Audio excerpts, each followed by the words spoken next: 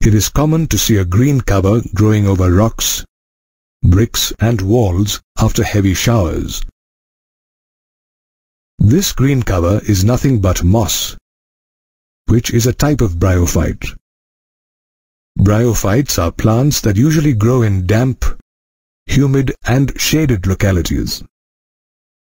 They are also called amphibians of the plant kingdom because though bryophytes grow in soil, they need a moist habitat for sexual reproduction.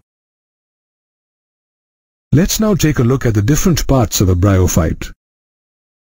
The plant body is thallus-like and is either prostrate or erect.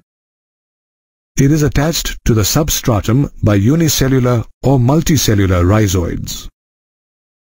The plant body does not have true roots, stem or leaves, but possesses similar structures. The main plant body of a bryophyte is haploid. It is also called a gametophyte as it produces gametes. The plant body has both male and female gametophytes, which bear the male and female sex organs respectively. The male sex organs are called the antheridia and they produce biflagellate antherozoids. The female sex organs, called the archegonia, are flask-shaped and each produces a single egg. During fertilization, the antheridium releases antherozoids in water where they come into contact with the mouth of the archegonium. One antherozoid fuses with the egg to form a zygote. The zygote in turn produces a multicellular body called the sporophyte. The sporophyte gets its nutrition from the gametophyte. Some cells of the sporophyte undergo meiosis to produce haploid spores. These spores germinate to produce a gametophyte. Bryophytes are of two types, liverworts and mosses. You can find liverworts in moist and shady environs such as barks of trees. The plant body, a thallus, is dorsiventral and appressed to the substrate.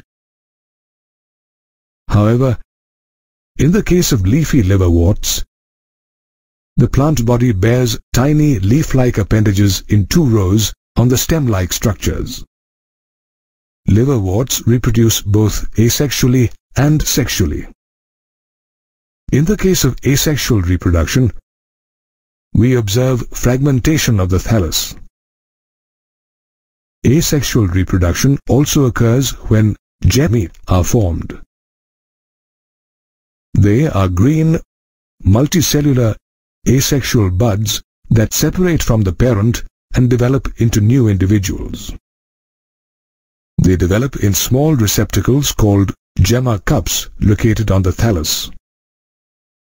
In the case of sexual reproduction, the male and female sex organs are produced either on the same or on different thallus.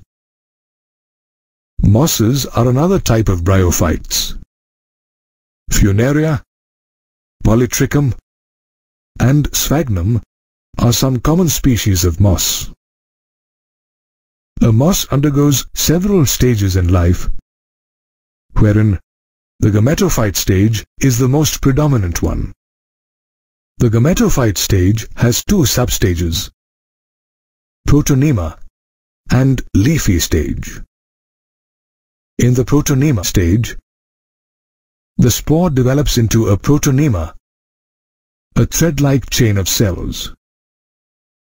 The protonema is creeping, green, branched, and filamentous. The second stage is the leafy stage, where the primary protonema develops into the secondary protonema as a lateral bud. The buds consist of upright, slender axes that bear spirally arranged leaves attached to the soil through branched rhizoids.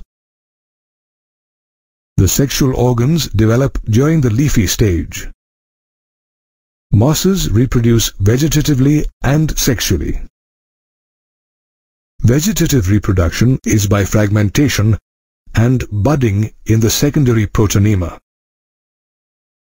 In sexual reproduction, the male and female sex organs are produced at the apex of the leafy shoots. Let's now look at the uses and importance of bryophytes. Moss such as sphagnum provides peat, which is used as fuel. Moss also form a dense mat, thereby allowing rainwater to percolate into the ground. This prevents rainwater from running off and the subsequent soil erosion. Bryophytes such as moss are also ecologically important as, along with lichens, they are always the first to colonize rocks. Moreover, they decompose the rocks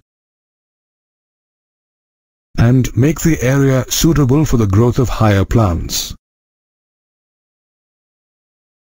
Thus, we have seen that bryophytes have several uses.